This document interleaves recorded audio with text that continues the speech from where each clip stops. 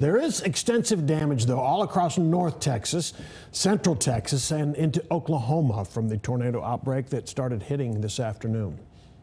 The National Weather Service has yet to confirm how many tornadoes there were from today's line, but there are several videos confirming tornadoes, and much of the damage you will see is more severe than what straight line winds would do. And of course, Dan and Allie will be back with more on the overall outbreak, but first to look at some of the damage from Jacksboro in Jack County. For that, we go to Fox 4's Peyton Yeager. Peyton.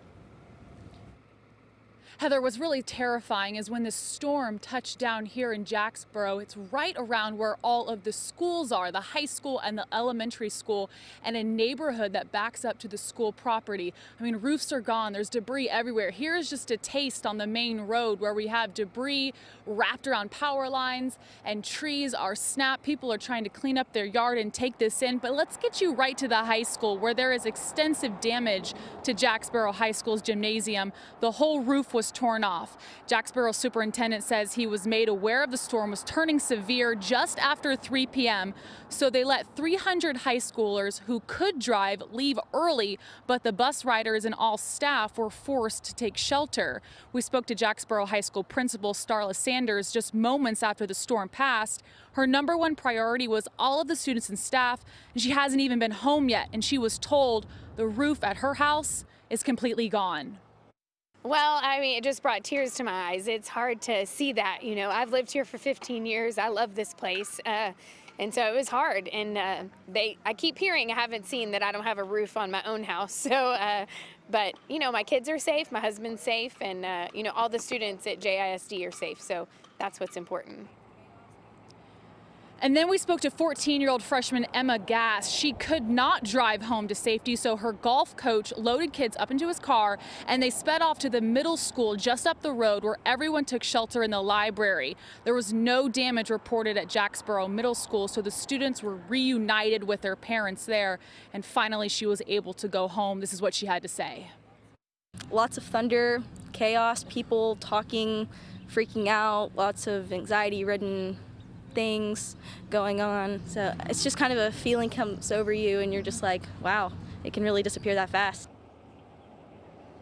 So just across from Jacksboro High School is the elementary school housing 500 kids where its gymnasium also had walls collapse. And children were waiting for their parents to pick them up the parents were, the children were rushed to the interior of the building and told to shelter in the hallway. Then you have parents in the pickup line in the parking lot. They hopped out of their cars and got into the elementary school. And what's left when we showed up, cars were flipped over, windows were blown out. And that's when parents jumped out, they took shelter, and they came back out to survey the damage. Because we knew the storm was coming. Um, it was expected to be here around 3:56, 4 o'clock. So, and school lets out at 3:30. So, but there was still a lot of cars in line trying to pick up their kids, and as you can see, the parking lot is destroyed. Tons of cars and vehicles. Um, but thankfully, I think everybody's okay and got to get inside if they were still waiting to get their kids out. Our kids are okay. Our family's okay. Yeah, friends are okay. Both of these campuses, our elementary and our high school campus, have storm shelters uh, that we were able to put all of our students and staff and parents into, and they functioned the way they were designed. And I'm thankful to report that we have no injuries of students or staff, and I'm not aware of any parents that were on any of our campuses that sustained any injuries. So uh, we feel very blessed uh, to, to have that news uh, bottom line is we can repair that. I'm just so thankful that uh, our, our, students and, and, staff were safe. And so that, that was a prayer answered. So meanwhile, just across the street from the schools, you can see where the storm's path continued. The trees are down, power lines down, homes destroyed. We walked through one home where the entire roof was taken off.